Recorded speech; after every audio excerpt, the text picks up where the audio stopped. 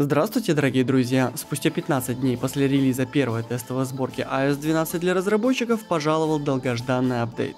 Работа проделана относительно колоссально. О новых фичах, исправленных ошибках и прочих важных вещах в этом видео. Устраивайтесь поудобнее.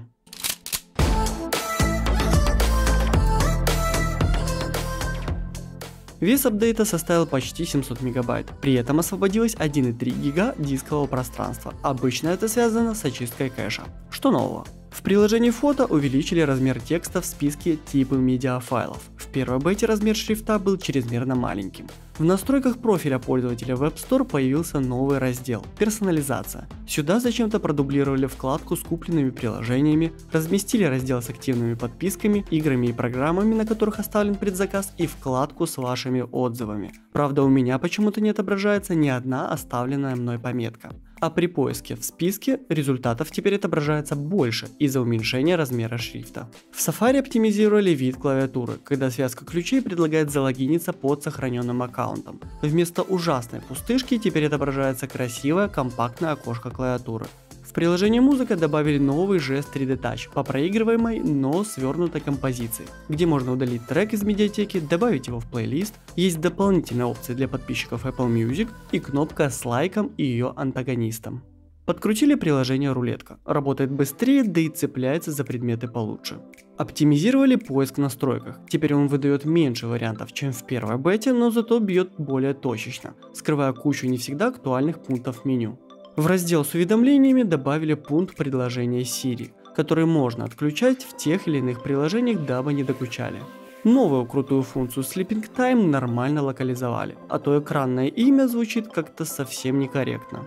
Да и добавили новую стартовую плашку, демонстрирующую назначение функции. Порадовал свежий перевод большей части текста этой и других новых функций, но все равно остались нелокализованные моменты. А еще в функции экранное время есть место, где можно посмотреть статистику использования по всем устройствам, привязанных к одному Apple ID. В этой же вкладке вы можете заметить новый фильтр часто используемых – категории.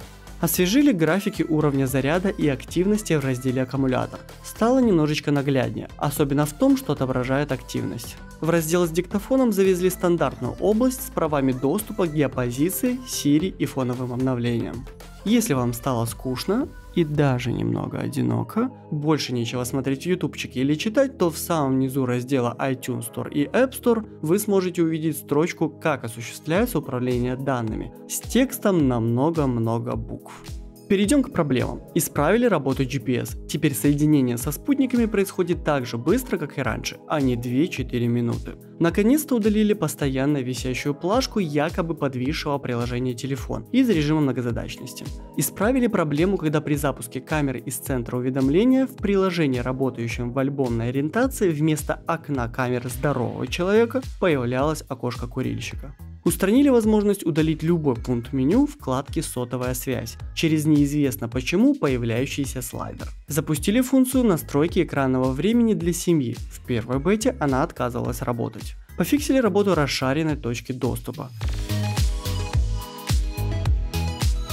А еще в коде прошивки нашли упоминание новых моделей Apple Watch. С исправлением старых недостатков завезли и кучу новых примеру, перестал работать виджет погоды. В пункте управления процент оставшегося заряда аккумулятора съехал немножко вниз. А если вам кто-то звонит и вы решите напомнить о вызове позже, система просто выбрасывает на рабочий стол, а входящий вызов не прерывается ну и так далее. Практически полный список исправленных багов, обнаруженных новых и проблем, которые еще не решились, вы можете увидеть в этом списке. Будет интересно, поставите на паузу.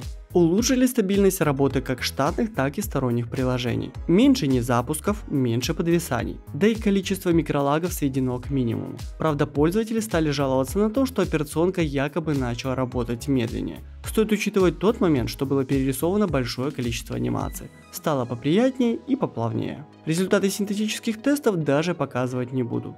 Не, ну покажу, конечно, но у всех они разнятся настолько кардинально, прям в интервале нескольких тысяч, что ни о каких объективных сравнениях и речи быть не может. Полевые тесты показали, что вторая бета работает уже не так шустро, как первая, по сравнению с последним финальным релизом iOS 11.4. Видимо, из-за улучшенной плавности чуть-чуть порезалась скорость, но о чем-то конкретном пока говорить рано. Впереди еще 5-7 бет будет однозначно. В любом случае, всем сомневающимся я настоятельно рекомендую ждать финального релиза iOS 12 который состоится в сентябре, ну или как минимум выхода публичной бета-версии в июле. Напомню, что вы наблюдаете обзор прошивки для разработчиков. Также посмотрите свежий ролик про всю боль тестирования на примере первых бет iOS 12 и WatchOS 5. На этом все, всем добра и хорошего настроения. Заочно благодарю всех тех, кто поставил лайк этому видео. Вы здорово помогаете каналу. Спасибо и пока.